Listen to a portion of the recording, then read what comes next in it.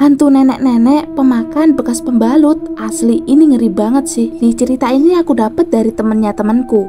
Sebut saja namanya Adit ya. Jadi ceritanya sekitar tahun 2015 ada 11 anak SMA di Jakarta yang sedang mengikuti acara ekskul. Ekskul pecinta alam gitu deh. Nah, mereka itu mau naik gunung. Sinya kebanyakan cowok sama satu orang cewek. Nah, waktu itu mereka itu mau naik gunung kan.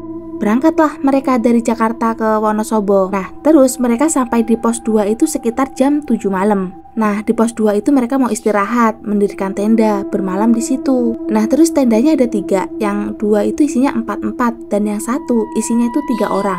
Nah, terus perempuan yang sendirian itu namanya Nina. Dia tidur di tenda yang isinya tiga orang. Nina yang satu tenda dengan dua cowok itu nggak bisa tidur. Karena mereka ngerasa kayak ada yang ngeliatin dia gitu. Tapi si Nina berusaha untuk meremin terus. Walaupun gak bisa tidur, dipaksain lah sama dia. Tapi tiba-tiba Adit itu ngomong, bau amis banget deh. Lalu Nina dan temennya itu nyautin, iya bener bau banget. Nah mereka itu ngobrolnya sambil merem. Karena ada yang janggal mereka buka mata lah. Pas Nina mau ngomong, Adit yang tidurnya di sebelah Nina langsung nutup mulut Nina. Sambil ngasih kode tangan supaya diem. Ternyata di luar tenda ada nenek-nenek bungkuk yang lagi jalan muteri tenda mereka. Di situ mereka takut banget, tapi si Adit bisikin kedua temennya supaya udah pura-pura tidur aja. Soalnya kalau bersuara takutnya neneknya ganggu kan. Nah, keesokan harinya mereka meneruskan perjalanan. Nyampe di puncak mereka foto-foto, nggak lama mereka turun lagi. Nah, pas perjalanan pulang mereka itu ngerasa perjalanannya itu lama banget. Terus kayak ada yang aneh gitu.